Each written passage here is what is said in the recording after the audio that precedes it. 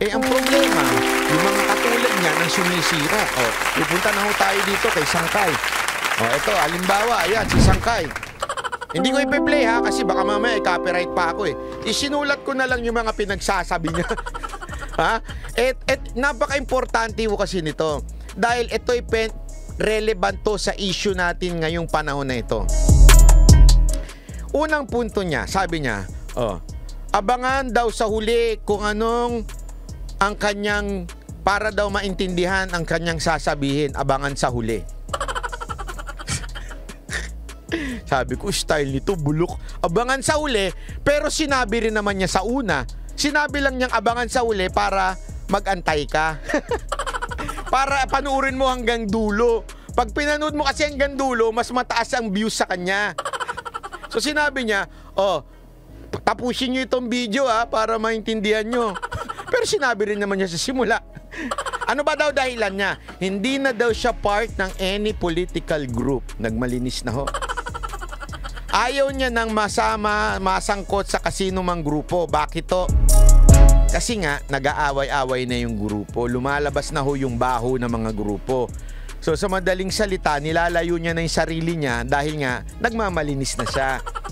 Kasi nagka, nagkabahuan, nagkabatuhan na ng baho eh. Sinabi na may allowance itong isa. Sinabi na ito binigyan ng bahay, binigyan ng kondo. So ngayon, kailangan niya ng lumayo. So sinabi niya, titigil na ako sa politika. Gets nyo? Sa madaling salita, nagmalinis na ho. Okay? Number three, hindi daw niya babanggain si Marcos, positive news na lang daw kasi toxic na daw. Akala ko ba hindi ka na sa politika? Pero hindi mo rin naman babanggain pala si Marcos. Puro good news na lang daw ibabalita mo. Eh di ganun din yun. Ganun din yun eh. Alam mo kaya nga ako na natatawa dito eh. Ang, ang daming paandar nito sa buhay. Pasensya ka na sangkaya pero ang dami mong paandar. Ilang beses mo nang ginawa yan yung kesyo. Huling vlog ko na to yung mga ganyan-ganyan. Para lang magkaroon ng content. Tapos sasabihin mo ngayon, hindi, hindi, hindi na ako magpupolitika, wala na ako political group. Pero, hindi ko babanggayin si Marcos. Good news lang ang ibabalita ko. eh di ka, ganun din yun. Nagpolitika pa rin. Eh, political si Marcos eh. Pambihira naman ito si Sangkay. Pinaglululo ko yung mga viewers na eh. Di ba? Oh, sige, sabihin ko kaya ngayon. Oh, sige. Mula ngayon, hindi na ako magpupolitika. Puro good news na lang about Isko. Anong tingin niyo sa akin? Di ba ginagago ko kayo? Eh kasi political to si Isko eh kahit ba sabihin natin hindi na siya mayor eh. Oh, political ba rin siya? Political person ba rin siya? Anak ng tutsa yan oh. oh. Sabi niya, back to basic na lang daw. Oh. Sabihin, nakilala daw siya da, hindi daw dahil sa politika. Ah, excuse me po. Nakilala ho kayo dahil sa Talano Gold. Ah, ito ho, wag niyo hong i-deny. Actually, marami ho nagsabi sa akin na kaibigan ko na pinapakomentuhan yung Talano Gold na video nyo. Doon ho kayo nakilala.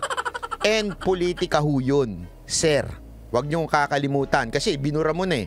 Oh, 'di ba? So sabi niya, ah, uh, ito paulit-ulit niya sinabi na tayo-tayo na lang ho, buli yung uh, yung mga kasangkay ko, tayo-tayo na lang.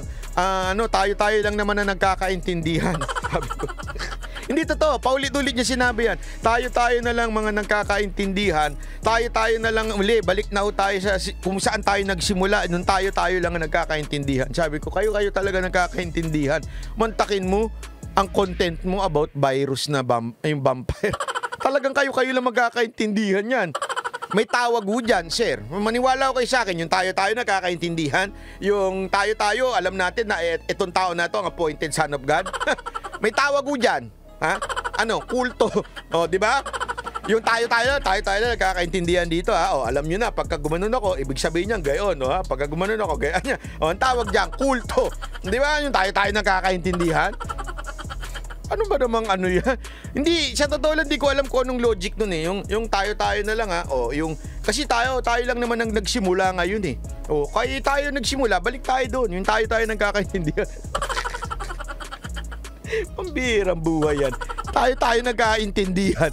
Hindi kulto pala. O, tayo-tayo ha. Tayo mga bonateros. Tayo-tayo nagkakaintindihan ha. Pag sinabi kong, he, sabihin nyo, hoy, he, oy, Anong tawag mo doon? Kulto. Kasi tayo tayo nagkakaintindihan. Ano sabihin nun? Wala lang. Tayo tayo lang nagkakaintindihan doon. Di ba? Hay! Nako, life.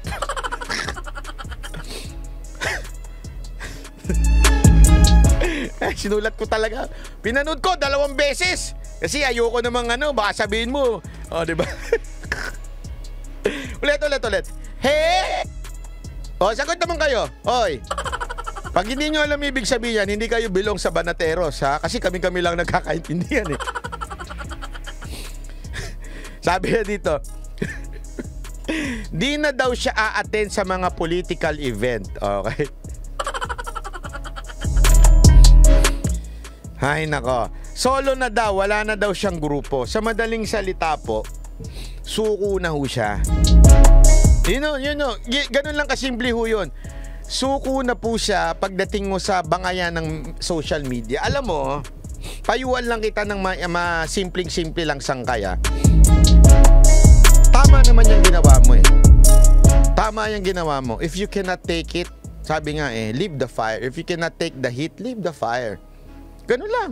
Kung mahina kang nilalang, pagdating mo sa bardagulan, kung mahina kang nilalang, pagdating mo sa argumento at debate, leave the fire. Ganun lang kasimple. You cannot take the heat. Mag magalis ka na. Kasi dito, pasensya ka na, pero ito talaga ang real talk eh. Sa social media, especially, especially sa politics, hindi ho pwede mahinang nilalang dito. Sa politika, hindi ho pwedeng yung itlog mo nasa nakatago lang. Kailangan dito palabang ka.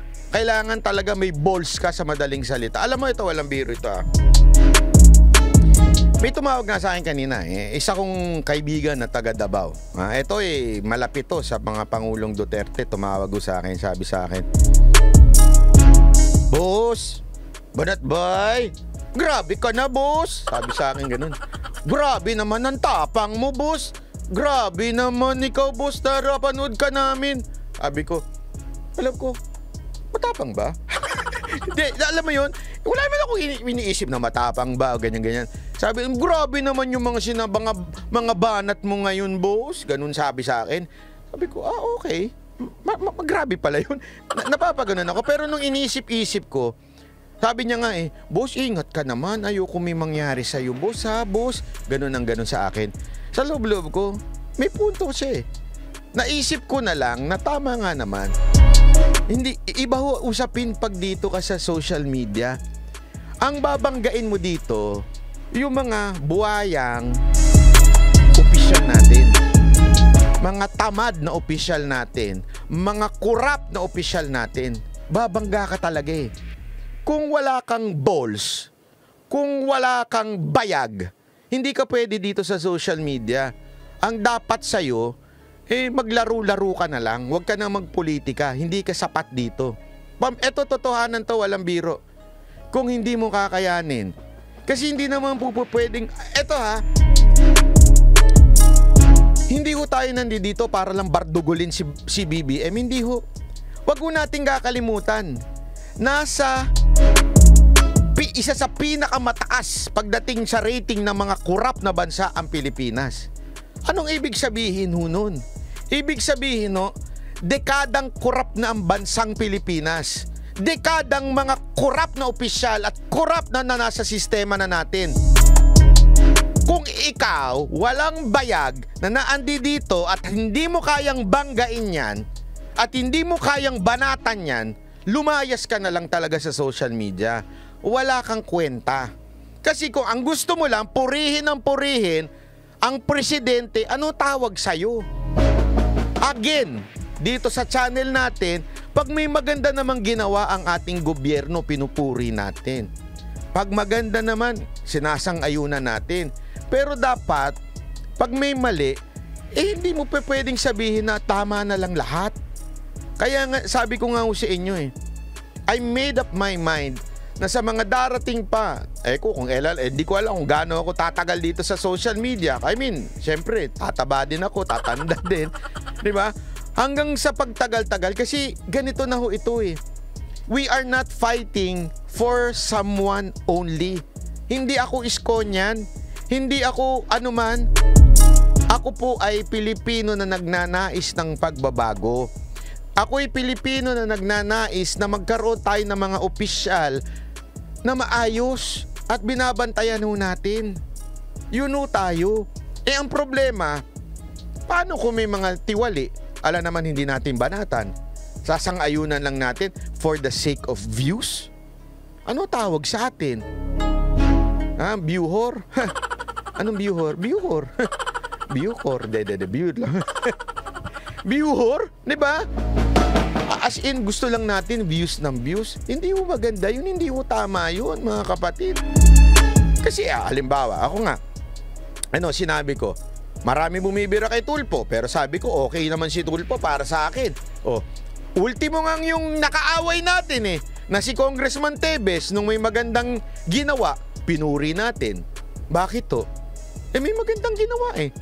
Yung, alam nyo, sabi ko nga sa inyo, ito yung mga nakalaban namin, kalakalakalaban ko nung una. Kahit yung isa pang kongresista na may maganda rin ginawa, kinalaban ko nung una. Pero nung may maganda, pinuri ko din. Kasi nga dapat ganun tayo eh. Flexible tayo pag magaling, purihin natin. Pero pag pangit, banata natin. Hindi pa pwedeng sasabihin mo, ah, ayoko na maging political, hindi na ako political.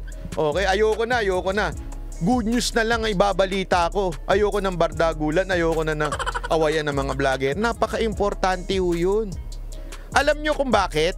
Ano yung bardagulan ng mga vlogger? Hindi ho ibig sabihin binabardagol ni Maharlika, ni Pebbles, etong OPS.